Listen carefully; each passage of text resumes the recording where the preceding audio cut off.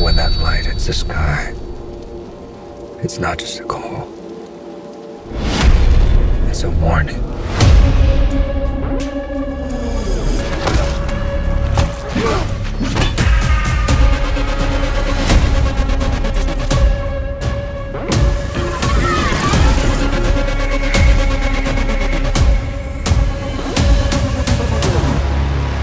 Maybe we're not so different after all.